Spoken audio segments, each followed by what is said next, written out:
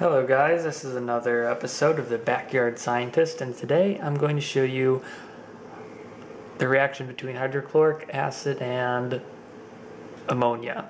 And there's a reaction in the gas phase and the liquid phase. And you could see that even though that I have the hydrochloric acid with a cap on it, it's still reacting with ambient ammonia in the air.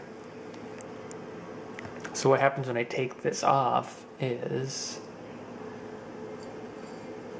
the hydrochloric acid vapors immediately react with the ammonia in the air and it produces a very strong smoking effect.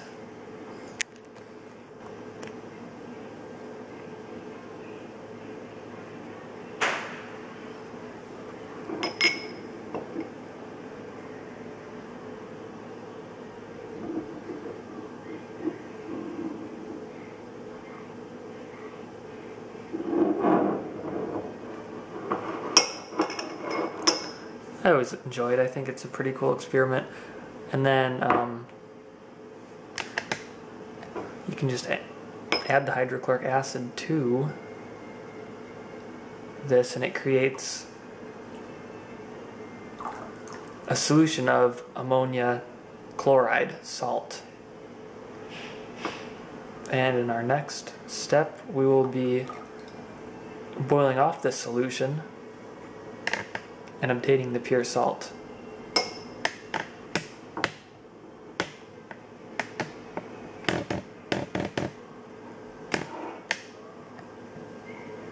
It's pretty cool.